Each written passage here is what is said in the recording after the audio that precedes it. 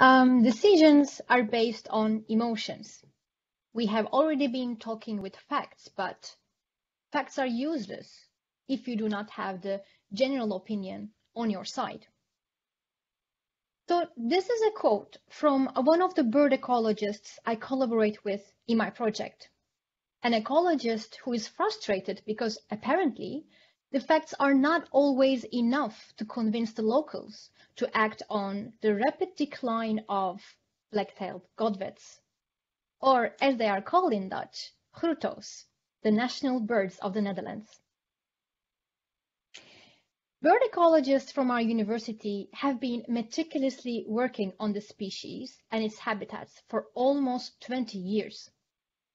And they are convinced that their data show the deadly effects of the intensive agricultural practices, not only uh, on the species, but unfortunately also on the biodiversity of the traditional Dutch meadows. But what about the locals and the farmers from the study area? Are they convinced as well? And if not, why? My name is Selen Eren, a PhD candidate in Science and Technology Studies from the Department of Knowledge Infrastructures at Campus Friesland.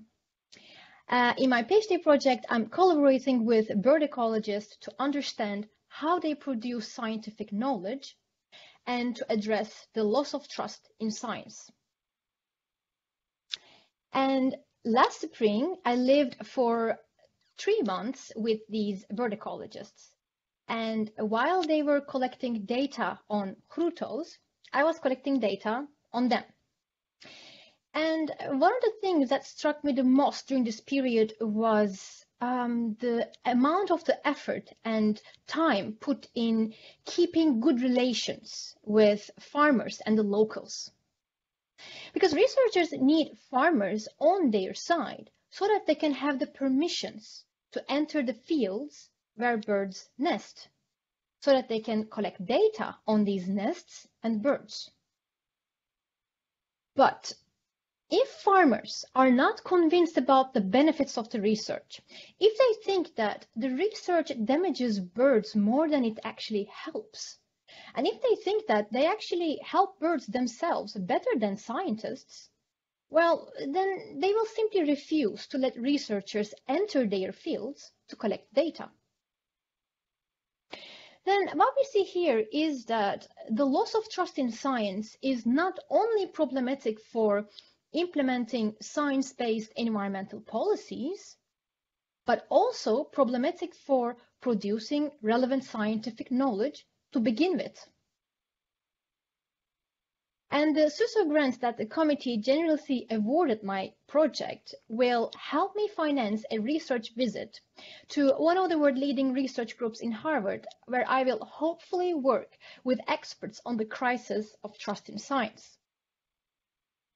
And during this visit, I will be working with the data I will collect by interviewing farmers, ecologists, and, and um, conservationists from the, uh, from the study area before I leave for the visit.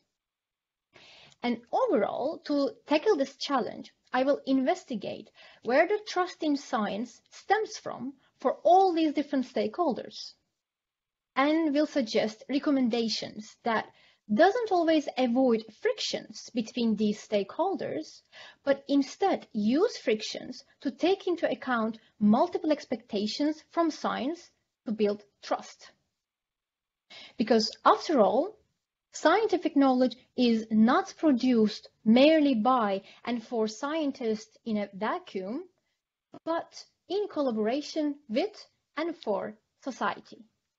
Thank you.